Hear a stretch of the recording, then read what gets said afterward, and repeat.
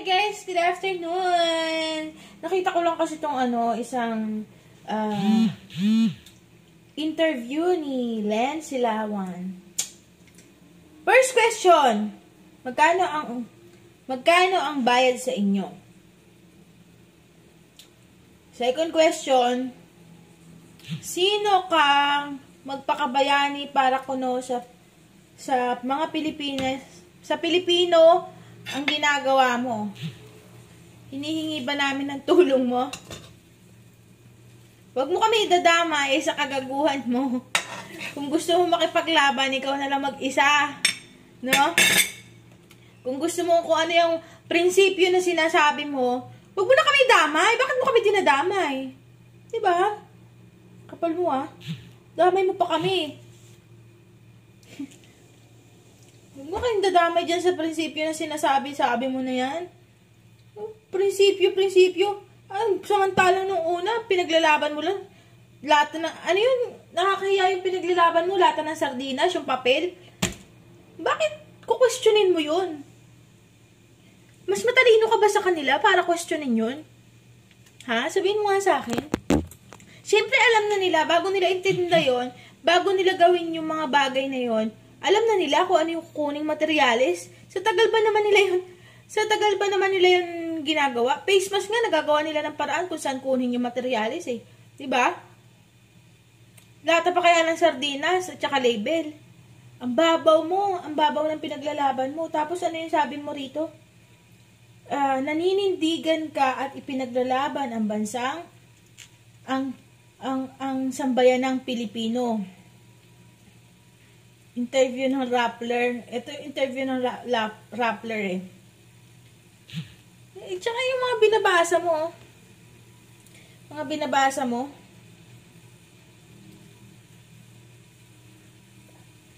Yung mga binabasa mo dyan sa, ano, sa, sa interview mo. Halata eh. Diyos ko, tingnan mo nga yung panga mo dito, oh. Gusto mo ba ito, oh? Sobra yung sa akin, bibigay ko sa'yo. Tapos, alam mo, gobyerno nga. Gobyerno nga eh. Sabi mo nga sinusweldohan ng mamamayan para maglingkod sa bayan. Ikaw pa, imposible na magsalita ka na magsalita ng ganyan na wala nagbabayad sa'yo. Diba? imposible. Tsaka, ilang araw niyan ginawa? Yung interview na yan. Ilang araw niyo inedit. Ilang araw nyo pinag-isipan at ilang araw nyo sinulat. ba? Kasi kada tanong may may sagot ka agad. Handa. Handang-handa yung interview. No? Nakakainis.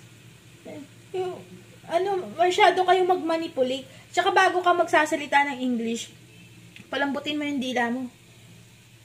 No? Palambutin mo yung dila. Kasi, baloktot eh. Ano yun? Fake? Ano? Fake news? Fake news ba? Fake news? Diyos Lord. Magkakalat ng fake news. Di ba ikaw nagkakalat ng fake news? Kasi,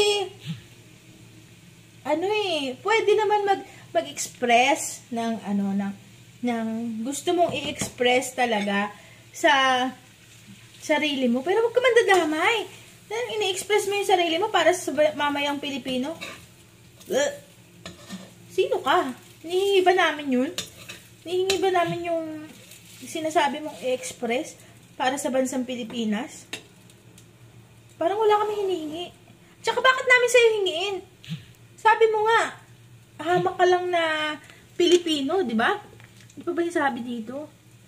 30 minutes kasi to eh. I-record ko sana eh. Kaso lang, hmm, masyadong mahaba. Nakaka-irita yung mga, mga sinasagot mo. Masyad, wag ka masyadong magpakabayani. 'Di ba? Si Rizal, alam mo kung gusto mong maging bayani, isa lang gawin mo. Magpabaril ka. Wag sa luneta. Si, si Rizal na kasi doon. Wag na rin sa monumento. Doon ka sa ano, sa mas maganda, mas modern, 'di ba? Ikaw nga daw modern bayani. Doon ka sa may ano, sa may para para mas mas uh, maganda doon ka sa gitna ng Mall of Asia. yung Mall of Asia, dun sa may gitna sa dagat, dun ka babarilin para diretso ka sa dagat.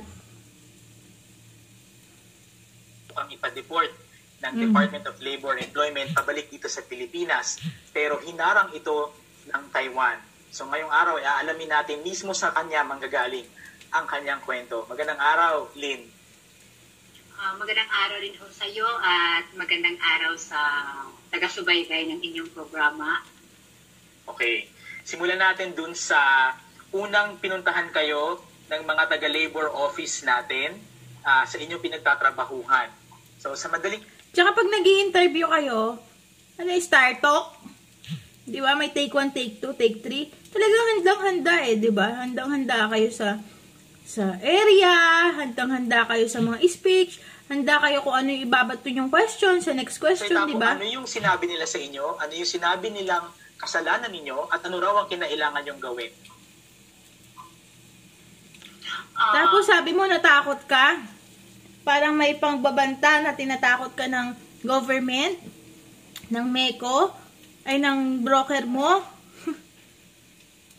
Sa kapal na mukha mong yan, natakot ka pa pala. Di ba? Naka, ay, nung, nung time na yun na pumunta sa, sila dito, um, yun ho ay Friday, April 17. Yun ho ay nais ho talaga nilang bukuhin ang sabihin sa akin Tatanong ka kung bakit, kung bakit ah, nagagalit ang mga OFWs at saka mga taong bayan. Oh, di ba tinawag mo kami inutil? Tinawag mo kami bobo? Eh, ano ka ngayon? Ito lang masasabi ko sa'yo, Len Silawan. One of these days, ah, ano ka din? Iiyak ka. Pagtapos mong umiyak, yung mga naghahawak sa'yo, kung ano may mga nagbabayad sa'yo, kung meron man, pustahan tayo, kakanta mo yan. Tata, i, ano mo, itaga mo sa bato. Tsaka itaga mo sa bato, Len Silawan. Itaga mo talaga sa bato. Ikaw, hindi uunlad yung buhay mo sa ginagawa mo. Imagine, kaya mo ipagkalulo ang kaluluwa mo para lang sa pera. Posible eh. Posible wala nagbabayad sa'yo. Ba? Pagkakitaan niyo pa ang social media. Go lang. Pagkakitaan niyo mabuti. Diyan kayo masaya, di ba? Supportahan ta ka. Nakakatawa lang sa inyo, no? Talagang handang-handa yung mga sasabihin nyo. Imagine, simpleng taong katulad mo, nangarap maging rich. Gusto mo yung rich ka agad na na biglang sikat, yung biglang boom. Yun talagang gusto mo na to the highest level agad. Imagine mo yun, eh, yung mga ganun bagay. Yung mga tao pa palang ganun. Alam mo, ang pagyaman at pag-isikat, kailangan step by step process. 'di ba? Hindi yung kailangan mo magbura ng isang tao. Hindi mo pag ah, hindi mo ipagkakalulo ang kaluluwa mo para lang maging ah, isang tanyag, maging isang bayani. Bayani pala gusto mo gawin eh. Sana nagbabaril ka sa ano sa sa Rizal Park. 'Di ba? Sabihin mo, mahal mo ang inang bayan. Wow. oh, what a fucking ano, words, 'di ba? Mamahalin mo ang inang bayan na walang magbabayad sa'yo. Natural, mahalin natin ang ating bayan. Huwag mo, huwag mo kami isasama sa prinsipyo na sinasabi mo. Dahil nakakahiya yung prinsipyo na meron ka. Ang prinsipyo ng isang mamamayang Pilipino, yun, makakain lang. Karapat din siguro ipag, pagsigawan nyo na maraming nagugutom. Pero hindi namin kailangan ng sigaw mo. May sarili kaming mga bibig. Hindi mo kami kailangan ipaglaban. 'Di ba? Kung kinakapitan mo kami dahil sabi mo supporters mo kami. yung mga supporters mong tanga. Sila yung tanga, sila yung bobo, sila yung mangmang. Sila walang pinag-aralan. Sila yung mga, sila yung sinasabi mga supporters. Bitter lang kasi kayo. Kahit anong gawin nyo, ang nakaupo pa rin si Pangulong Duterte. Kahit maggangak-ngak kayo dyan. Kahit nyo, asarin nyo kami mga didis. No way. Our president is the best president of the whole world. Kahit magmangak-ngak niya kami, wala kaming pakialam sa inyo. ba? Ano ba sinabi ng mga gusto nyo iupo? Sige nga, pera-pera lang kayo eh. Kami hindi namin kailangan ng pera. Hindi namin kailangan magbayad ng tao para lang sumagot sa inyo. Tulad namin, hindi naman kami binabayaran ng Duterte. Diba? Hindi namin kailangan ng bayad. Hindi namin kailangan pera kasi yun yung prinsipyo namin. Hindi binabayaran yung prinsipyo namin, hindi katulad nyo. Alam mo yun? Yun talaga, we stand our president. Yun ang tinatawag na totoong ad adhikain. Yun ang tinatawag na totoong pagmamahal sa ilang bayan. Hindi namin kailangan manira hindi namin kailangan hindi namin kailangan murahin ng vice president, ang presidente, ang mayor. Wala kaming kailangan murahin. Pero ikaw po tsaka dapat kang murahin kasi bayaran ka para lang kumita, para lang sumikat. Para kang ano, para kang demonyo isinangla sa impyerno ang kaluluwa. Ikaw yung babaeng sinangla sa impyerno ang kaluluwa, magkapera lang. Kampera. ba? Lalabanan mo pa lahat? Yan ang sinasabi mong adhikain? Anong klaseng NPA ka? Gumawa ka ng sarili mong sarili mong mm, hakbang? Na nakakatawa ka. Ikaw yung pinaka nakakatawan tao sa balat ng lupa. Kaya wag mo kami, wag mo kami isinasama sa paglalaban mo kasi kinahihiya ka ng bawat Pilipino. 'Di ba? Tandaan niyo yun, kinahihiya ka ng bawat Pilipino. Wala kang dapat sabihin na nakikipaglabang ka para sa prinsipyo namin, para makalakain kami. Alam mo kung ano ipaglaban mo? Ha? Magkaroon ng pagkain, tsaka lagyan ng tabayang pisngi mo pakto ka. Gusto mo pala may kalaban? Ayaw mo ng tahimik na buhay? Nananahimik ka, di ba? Nananahimik yung buhay mo, ginugulo mo. Di ka nalang magtrabaho dyan. Di ka nalang magkuskus ng kubeta dyan. No? Pero, pero pasalamat sa iyo dahil sa inyo. Dahil sa inyo, may content kami. Yun ang pinapasalamat namin. Alam mo kung hindi naman kami inis-inis sa inyo totally eh. Tuwan-tuwa kami sa inyo. Dahil, dahil sa inyo, sumisikat din kami. ba? Diba? Thank you very, very much for that. Kaya tuwan-tuwa kami sa inyo. Kaya, ito sabihin mo sa mga supporters mo, hindi kami bobo, hindi kami tanga. Kayo yung bobo at tanga bayaran. Diba? Daig yung pokpok. Sa inyo parang pangkapi lang okay na, pang-load lang okay na. What the fuck? So, yun lang guys. Sana makarating sa iyo yung mga sinasabi ko. Sana makarating sa inyo. Good morning, Pilipinas. Good morning, uh, the 13yans. Maraming maraming sa, sa lahat sa, ng aking taga-subaybay. Sa mga aking lo loyal viewers. Maraming maraming salamat po. Ito yung dapat ituloy nating adhikain, yung pag paglaban sa mga katulad mong Pilipino hindi ka dapat na i-deport, dito ka na lang. Huwag na huwag kang uuwi ng Pilipinas.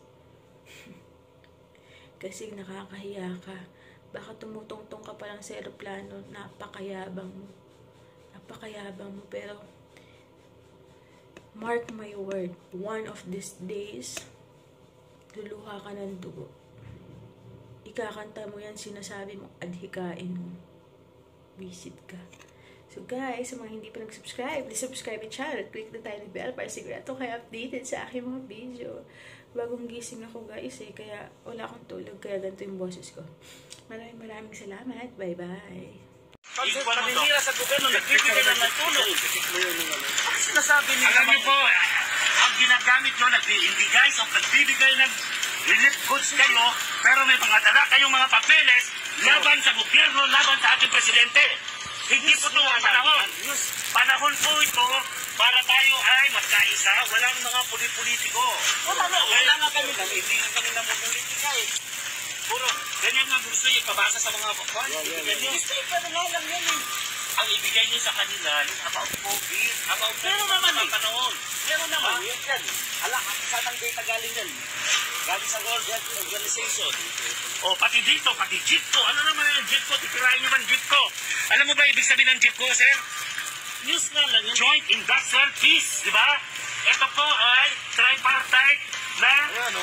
programa ng gobyerno, ng manggagawa at ng industriya para panawi, palawakin pa ang industriya para protektahan ang mga workers. Kaya ang sinasabi niyo dito, nakakasira ang programang JIPCO, anti-labor. Ang report dyan, may Ah? mga union na hindi na pinapayagan. Tama ba yun? Hindi pinapayagan mag-union? Ang yan na nga ang sinasabi ko, hindi kayo nakikinig eh. Ang JIPCO po, ini-encourage na magkaroon ng union. Pero, pag pasapagkapagkakuan po, Hindi sir. Basta pinasok na ng mga makapaliwa, sirain. Oo. Iba na pong usapan nyo. Kayong mga politika dyan sa Pilipinas, wala na kayong pinaggagawa kundi puro puro kontra. Mga buwisit kayo. Magsitahimik kayo. Hindi kayo nakakatulong, nakakatulong sa presidente. Konsumisyon kayo. Yan, si Trillanes, si Drilon, si Lisa Hontiveros, at saka yan si Pangilinan. Ano ba pinaggagawa nyo? Dapat sa inyo tamaan ng virus para mamatay na kayo eh. Eh, wala kayo na itutulong, puro, puro kontra, konsumisyon kayo sa bayan. Dapat sa inyo mawala sa mundo. Isang araw tamaan kayo ng sakit para na ma- mawala na kayong lahat. Mga walang niya kayo. Mga ang sasama ng mga ugali ninyo. Wala nang kwarta ang Pilipinas eh, ganyan pa kayo. Di kayo tumulong. Puro kayo kontra. Anong gusto nyo?